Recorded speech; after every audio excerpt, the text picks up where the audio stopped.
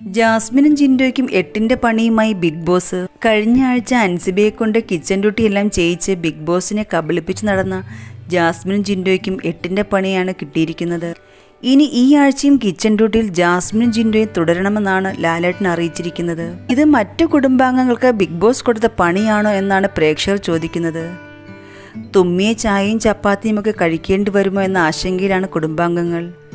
കഴിഞ്ഞ ആഴ്ച kitchen duty നന്നായി ചെയ്ത അൻസിബയ്ക്ക് ബിഗ് ബോസ് ഒരു ഗിഫ്റ്റ് കൊടുക്കുന്നുണ്ട്. കിച്ചൺ ഡ്യൂട്ടിയിൽ മൂന്ന് പേരുണ്ടായിട്ടും ഒറ്റയ്ക്ക് നിന്ന് ചെയ്യേണ്ട അവസ്ഥയാണ് അൻസിബിക്ക് ഉണ്ടായത് ഇതിനെതിരെ ലാലേട്ടൻ പവർ ടീമിനെ ശകാരിക്കുന്നുമുണ്ട്.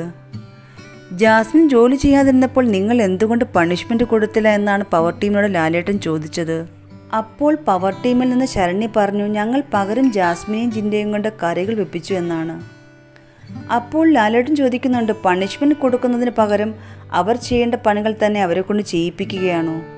ഇത് പവർ ടീമിന്റെ ഉത്തരവാദിത്തമില്ലായ്മയായിട്ടേ കണക്കാക്കാൻ പറ്റുകയില്ലെന്നാണ് ലാലേട്ടൻ പറഞ്ഞത്. പവർ ടീമിൽ നിന്ന് മോശം പ്രകടനമാണ് ഈ ആഴ്ച ഉണ്ടായതെന്നും ലാലേട്ടൻ ചൂണ്ടിക്കാട്ടി.